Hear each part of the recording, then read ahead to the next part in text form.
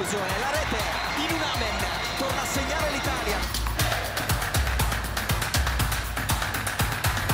Pandemonio totale, ma questo è un gol incredibile, ma che gol ha fatto?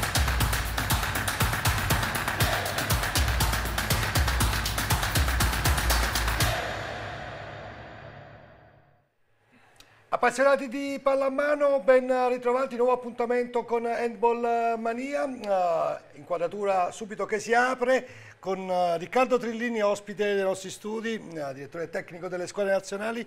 Ciao Riccardo, Ciao a tutti. ben Ciao. ritrovato. Grazie. Ti vedo per il momento abbastanza disteso, anche rilassato in volto, la pressione... Ah, diciamo che so mascherare bene. Ah, sai mascherare bene, poi ci spiegherai i motivi allora della, della tensione. Vedo sereno anche Matteo Aldamonte. Abbastanza. Abbastanza sereno. Buonasera. Insomma, un momento di... Uh, distensione. Sì, di distensione. uh, non credo che ci sia tanta distensione in, uh, mas nel massimo campionato, no? considerando anche un po' l'andamento dei risultati delle partite. Tensione alta, esatto, perché appunto abbiamo due squadre che in questo momento si stanno distinguendo in modo particolare, Siena e Conversano che proseguono a punteggio pieno il loro cammino in vetta alla classifica e poi c'è il Cassano Magnago che è staccata di un punto e, e, comunque si sta confermando con un grande Savini peraltro in scia sulle altre. Buone notizie, perciò è disteso e Ah, sereno. Direi di Coach sì. Poi, poi ci ragguaglierai sull'argomento. Diamo un'occhiata, se Sì. siete d'accordo al servizio, Sì, poi vediamo, ne vediamo parliamo cosa è insieme. successo. Vediamo. Siena e Conversano davanti a tutte le altre. Ci sono toscani e pugliesi alla guida della classifica della Serie 1 maschile dopo la terza giornata disputata nel fine settimana. Percorso netto per entrambe, solo vittorie. Di peso l'ultima in ordine temporale ottenuta dalla squadra allenata da Alessandro Fusina che con un'invenzione last second di Radovcic batte 23-22 il Pressano al Palaestra e ora si prepara alla prova del fuoco di sabato prossimo quando, sempre in casa, il calendario riserverà la sfida contro i campioni d'Italia del Bolzano. Quello tra Siena e Bolzano sarà indubbiamente il match clou della quarta giornata. Tanti gli ex illustri, da coach Fusina a Demis Radovicic, passando per Vito Fovio, ancora infortunato, però tutti protagonisti della storia vincente della squadra altoatesina. Quanto a Conversano, compatta e concentrata, la formazione di Terrafino supera l'ostacolo Trieste in una delle grandi classiche della pallamano italiana. La trasferta di Bressanone, la prossima da affrontare per Giannoccaro e compagni, sarà un'ulteriore prova di maturità su un campo sempre ostico. Quarta giornata ad alta tensione anche per il Cassano Magnago. Anche i Lombardi hanno mantenuto l'imbattibilità nei primi 180 minuti stagionali, raccimolando però un punto in meno del duo di testa e classifica alla mano, uno in più della Junior Fasano prossima avversaria al Palatacca. Il rocambolesco pareggio rimediato a Colonia ha lasciato buone sensazioni in casa Raimond Sassari, sensazioni da confermare però sul campo di Merano, battuto invece a fondi, apparsi in crescita i laziali che ora dovranno raggiungere l'Alto Adige per affrontare la piano ancora come Trieste a caccia dei primi punti in campionato. Cercano riscatto Pressano e Gaeta, entrambe uscite battute nei rispettivi impegni di sabato. Per i trentini sarà una partita particolare alla Palavis a una settimana dalla tragica scomparsa dello storico dirigente giallonero Giorgio Chistè. Direttore, possiamo parlare di equilibrio inatteso, di sorprese, guardando la classifica che ora la regia ci propone e vedendo in vetta la classifica Conversano e Siena?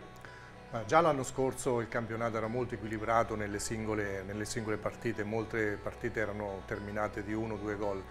Quest'anno è vero, eh, c'è più, più concorrenza perché Siena e, e Cassano hanno qualcosa in più dell'anno scorso, per cui abbiamo delle squadre in più che lottano per, per vincere il campionato o quantomeno per arrivare fino ai playoff eh, eh, competitive. Ma consideri Siena una sorpresa?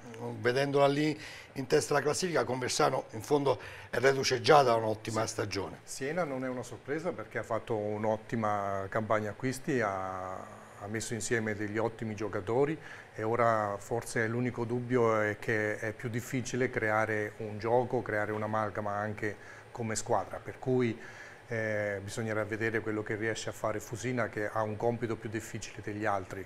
Meno difficile appunto da questo punto di vista è per Collins che aveva già una, una, grande ossatura di giovani e con il suo modo di giocare li coinvolgeva tutti, ha preso un giocatore che è quello che più si può adattare certo. al suo tipo di gioco. Dicevamo l'altra volta, Anche... sembra nato insomma, in quel gruppo Savini, sì. no? C'è da dire la verità che Savini secondo me si sarebbe integrato dovunque perché eh, oltre che a me piace tantissimo come giocatore è un, un ragazzo eccezionale con caratteristiche morali umane fantastiche per cui sarebbe andato bene dovunque. Parlavi di Fusina? Mm. Che è sicuramente, eh beh, penso che sia piuttosto contento. Disteso non lo so perché sabato arriva la sua ex squadra, arriva il Bolzano, è un'altra super prova per uh, Siena che intanto si gode un Demis Radovcic stratosferico che ha inventato il gol della vittoria. Ascoltiamo Fusina dopo la partita contro il Persano.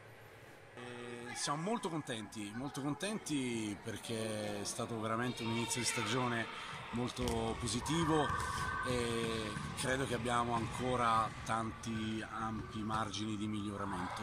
E adesso ci godiamo questa vittoria, domani riposiamo, è giornata dedicata alla famiglia per cui riprendiamo con la testa a, a lunedì dove cominceremo gli allenamenti preparandoci per questa quest'ulteriore grande, grande sfida contro i campioni d'Italia in carica del Bolzano. E Conversano? Conversano anche è, molto, è abbastanza favorito perché ha una difesa Però molti in fase di presentazione della stagione consideravano questo Conversano un gradino sotto Ah, la perché, squadra della passata stagione. Perché forse ha perso alcuni giocatori, Stabellini, Stabellini e Pivetta che erano comunque uno in nazionale, un altro c'è appena stato, eh, come se avesse perso qualcosa, ma secondo me ha, ha guadagnato in difesa perché poi ha una formazione che può, tutti gli attaccanti possono difendere, ci, può, può Tarafino non fare cambi attacco e difesa e soprattutto ha molti difensori nella zona centrale questo dà, dà, la possibilità di giocare in maniera molto più intensa. È un conversato però mh, rispetto all'anno passato partito un po' con low profile, no? con un profilo un po' più basso. L'anno passato eh, sembrava mh, costretto quasi a dover rispettare i favori del pronostico, invece quest'anno è partito maniera un po' più un pochettino a cuore sì. leggero, diciamo sì. a cuore più leggero rispetto all'anno scorso, anche perché rispetto all'anno scorso hai meno hai il brio di giocatori più giovani e hai meno l'esperienza di Pivetta, Stabellini e Maione, che insomma sono tre giocatori che di campo ne hanno calcato parecchio. Ascoltiamo, ascoltiamo coach Tarafino intervistato proprio al tema della partita vinta dal Conversano nello scorso turno. Di positivo, da come la vedo io, non c'è tanto, non c'è veramente tanto, c'è poco di positivo.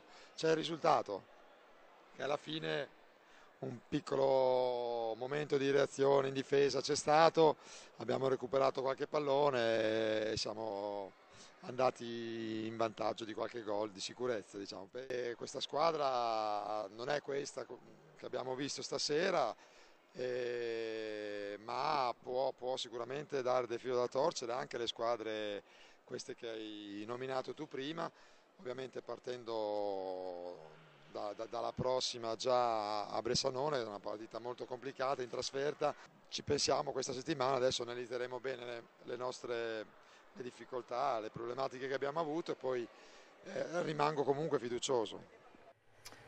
Ecco Trini, questo campionato così equilibrato, poi la storia ci racconterà se è un equilibrio verso l'alto, verso il basso, insomma questa è una disputa infinita, tu hai una tua uh, versione, hai una tua convinzione a proposito dell'equilibrio, un equilibrio verso l'alto o un livellamento verso il basso, quello Ma che stiamo registrando e raccontando? Secondo me verso l'alto, lo vediamo eh, soprattutto in alcune formazioni della 2 mm. che tempo fa avrebbero uh, fatto molto bene in A1 e oggi dovranno guadagnarsi la promozione in A1.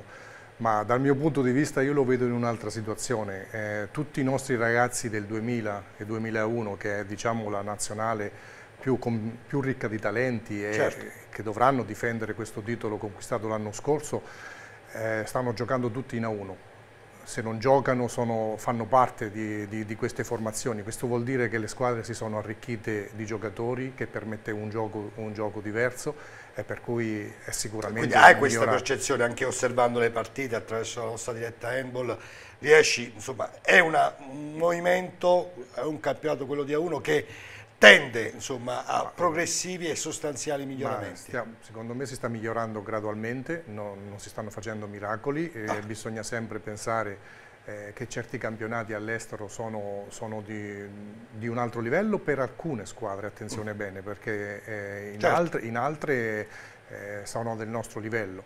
Eh, noi dobbiamo guardare secondo me alla professionalità dei club, far sì che eh, rendino i giocatori sicuri di scegliere il mestiere del giocatore di pallamano, questo aiuta nella crescita e vedo che c'è molta più attenzione in questo, sia più attenzione agli staff tecnici, eh, in maniera che appunto l'equilibrio nasca anche da questo, dal buon lavoro, non solo dagli stranieri che potranno arrivare. E volendo trasformare tutti questi concetti in una prospettiva azzurra, cosa significa e cosa dobbiamo attenderci? Entriamo nell'argomento anche se manca un po' di tempo. A gennaio L'Italia è attesa una prova importante, no? qualificazioni ai mondiali, si gioca in Italia, avversari importanti come la Romania, Georgia eh, e Kosovo decisamente più alla portata, ma comunque da affrontare e da non sottovalutare. In, allora, parlando di nazionale ci troveremo a gennaio, dopo quasi due anni dall'ultima qualificazione ai mondiali, con, con, una consapevolezza in più. Eh, abbiamo sicuramente in due anni eh, acquisito l'amalgama del gioco, e abbiamo più fiducia in noi stessi e affronteremo di nuovo la Romania. Eh, con la quale abbiamo giocato per 52 minuti alla pari, sì. poi abbiamo perso di 10 ma stato, non, è, non, è, non, era sicuramente un risultato giusto perché abbiamo giocato in 7 e ci è andata male, per cui il meno 10 io lo, lo addebito a, questa, a, questo tipo di, di gioco abbiamo tanta fiducia. Chiaramente non sottovalutiamo... È anche un'Italia diversa, no? quella sì, certo, che certo, è cresciuta sotto ogni aspetto. Insomma, quella che abbiamo lavorato molto in questi due anni, per cui eh, proprio dal punto di vista del gioco è molto migliorata. Stanno arrivando indicazioni importanti anche dal campionato, novità possibili dall'Italia? anche dall'estero eventualmente? Ma diciamo che allora, riguardo alla domanda su cosa può portare alle nazionali questo tipo di campionato, l'ho già appena detto, penso il beneficio maggiore lo avranno i 2000-2001 che da Sciorci fino ai Mengon tutti stanno giocando campionati e si allenano da, da professionisti. Eh, le novità eh, di, di, giocatori per la prossima convocazione è ancora presto per dirlo, certo. abbiamo del tempo ma io sono per continuare sulla squadra che ha ben fatto contro Russia e Ungheria perché eh, Slovacchia. Eh, chiaramente Slovacchia eh, ha dato dei buoni frutti, i ragazzi stanno bene insieme, guardiamo sempre il campionato, nessuno deve avere il posto sicuro, però devono anche... Porte sempre aperte, no? Eh, eh, per forza, è, è, è, la fortuna, è, la fortuna, della nazionale. Anche la tua fortuna di poter uh, scegliere tra così tanti giocatori. Parlava di giovani uh, prodotti del vivaio italiano, ce n'è un altro no, che sta facendo bene in Francia. Assolutamente sì, si tratta di Andrea Colleluori, l'enfant prodige tra i pali della nazionale italiana, ne ha parlato benissimo Vito Fovio che credo sia innamorato di lui, è stato intervistato sul sito del Nantes che è la squadra che lo ha prelevato eh, dal campionato italiano dopo l'esperienza con il Cingoli, lui che è originario di Città Sant'Angelo in Abruzzo, stiamo vedendo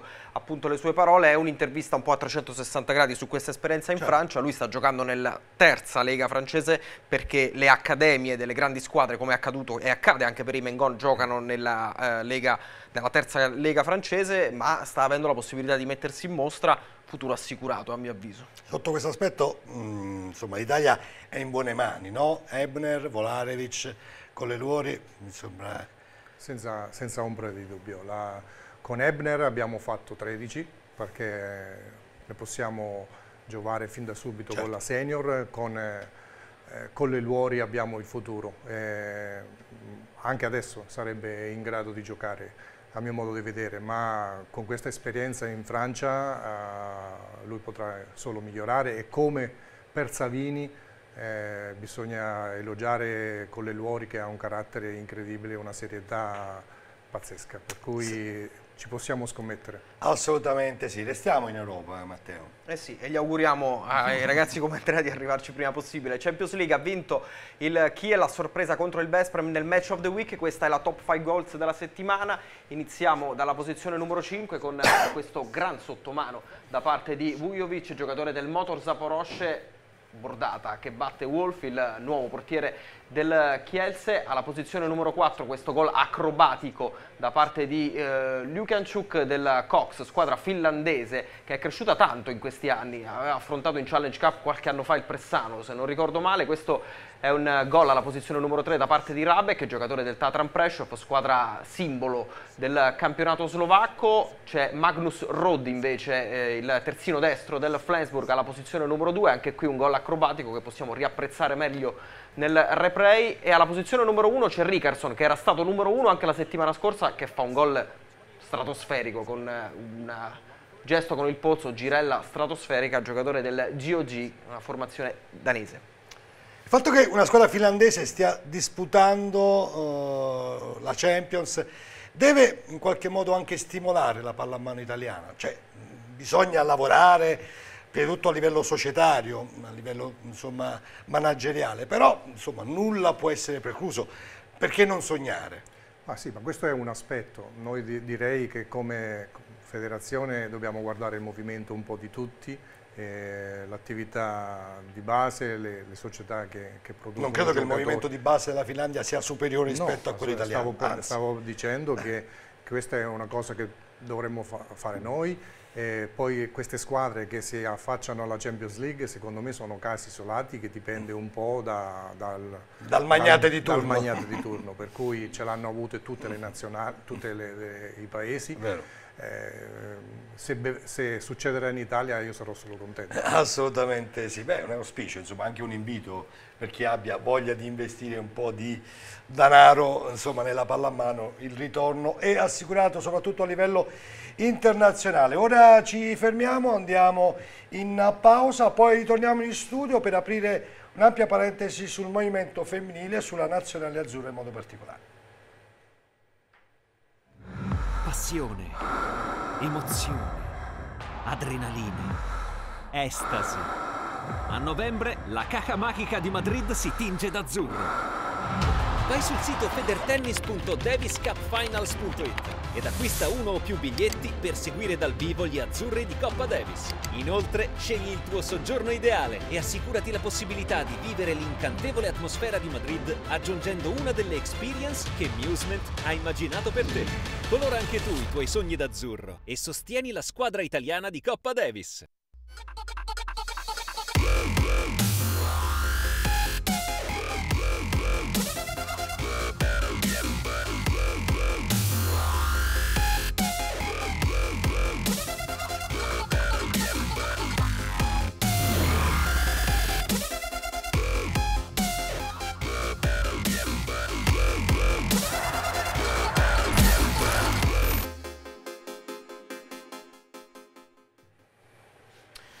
Altra metà del cielo colorata anche questa di azzurro, impegno in Montenegro per la nazionale italiana, primo impegno del girone di qualificazione per Euro 2020, vediamo subito il servizio.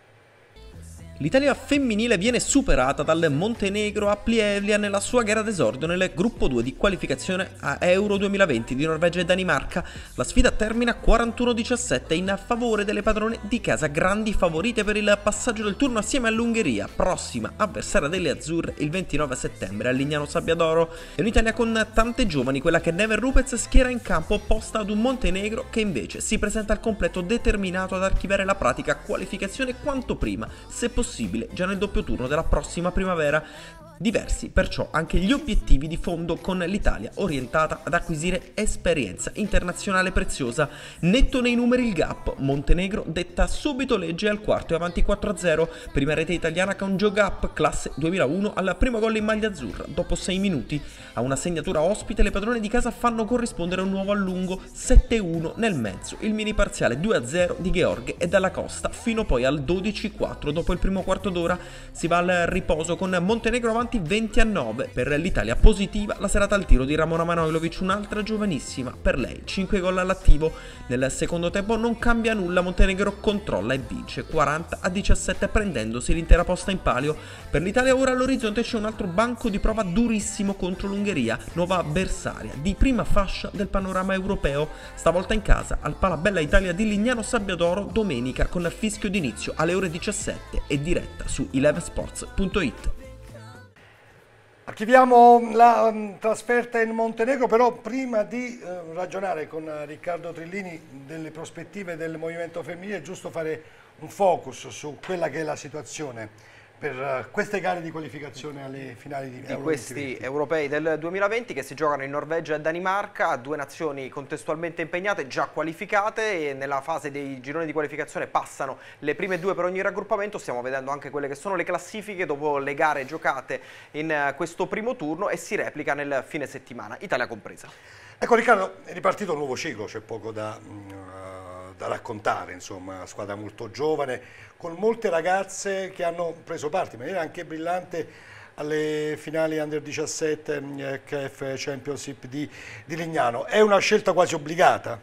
Ah, direi, direi, di sì, perché innanzitutto il valore di queste ragazze eh, dà subito la possibilità di, di, di, poterle vedere in campo, per cui bene fargli fare dell'esperienza ai massimi livelli, ce lo ritroveremo fra un po' di anni.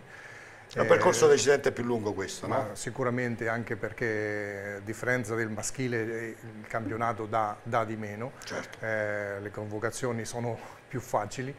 Eh, la difficoltà dell'allenatore sta nell'integrare appunto queste giovani under 17 o come la Ghilardi poco certo. più grande con le altre, le altre senior e, e, mettere insieme un gioco e dare appunto una, una speranza per i, per i, prossimi anni. Diciamo. Diceva del campionato A1 eh, femminile che ora è fermo proprio per il doppio impegno della nazionale azzurra. Si torna in campo il prossimo 5 di ottobre, nel frattempo però le tre squadre, quattro compresa l'Ariosto Ferrara eh, con Loderzo, Salerno e Bressanone sono tutte a due punti in vetta a sorpresa, c'è una neopromossa che è Mestrino naturalmente ancora troppo presto, vediamo il servizio.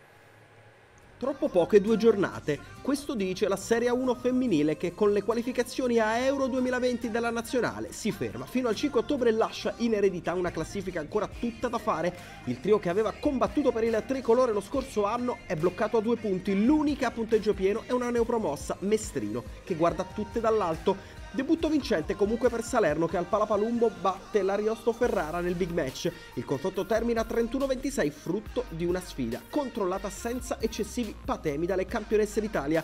Nella gara delle tante ex, Landri e Piantini passate a Ferrara per Thaler a difendere i pali delle campane, spicca dopo il più 4 all'intervallo il ritorno prepotente delle emiliane fino al meno 1 dopo 44 minuti. Al bivio i due punti prendono la strada di Salerno, accelerazione fino al 29-24 e partita segnata con le padrone padrone di casa che nel mentre si godono la ritrovata vena realizzativa di Trombetta, autrice di 6 gol e tra le migliori marcatrici dell'incontro. L'inseguimento alla vetta del Bressanone inizia con una settimana di ritardo sull'avvio della stagione e comincia dall'Alto Adige. Ne fa le spese Nuoro sconfitto 29-16 dalla formazione allenata da Ubinessing. Due vittorie consecutive e Mestrino si dimentica di essere neopromossa. Dopo i due punti raccolti in trasferta a Nuoro sabato scorso, stavolta è il Palalissaro a regalare gioia alle Venete. 25-20 alleno come in Sardegna, protagonista ancora Lucarini con 6 segnature. Parità 24-24 infine tra Cassano Magneco e Casalgrande. Come dalle attese al palatacca viene fuori una vera e propria guerra di nervi.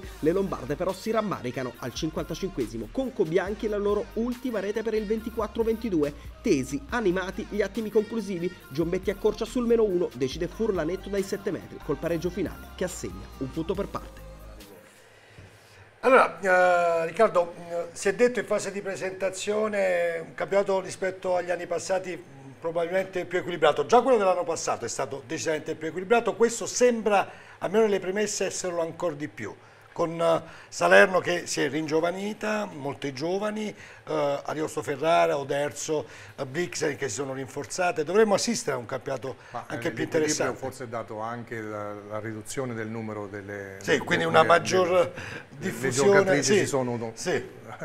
diluite nelle, nelle, otto, nelle, otto, squadre. Questo eh, non ci dimentichiamo che anche nella maschile, quando c'era l'elite, erano dei campionati a otto squadre. Sì. Un altro contesto perché lì c'erano quasi tutte le squadre, almeno le prime 5 Non è propriamente una cosa negativa per eh, aumentare il livello Io penso che la, la, situazione della femminile in Italia uh, va vista un po' a 360 gradi e, e magari eh, dedicare più attenzione alla base, quello che può essere la 2 femminile sì. e, e, e, il movimento giovanile. E ridurre il vertice. esatto, per cui non, non c'è niente di male giocare, giocare in 8, l'importante è che ci sia un bel lavoro di tutta la settimana di queste 8 squadre. Allora, eh, siamo praticamente agli sgoccioli, sì, manca pochissimo al gong finale, eh, dobbiamo dare gli appuntamenti del fine settimana. Velocissimi come sempre, grafica con eh, il clou che naturalmente è dato dalla partita di domenica tra Italia e Ungheria in diretta alle 17 su Eleven Sports e eh, sabato ad anticipare il tutto c'è la giornata, la quarta giornata di regular season su Palamano TV per la Serie 1 maschile. Bene, grazie, grazie mm, a Riccardo Trillini. Grazie a voi. Bocca al lupo, tanto lavoro comunque ti aspetta coach per poi presentare al top a gennaio una nazionale azzurra capace di far sognare i tifosi e gli sportivi italiani. Grazie a Matteo Aldamonte, a Sabrina Alessio in regia. Prossimo appuntamento giovedì prossimo appunto con Handball Mania. Arrivederci, buona pallamano a tutti.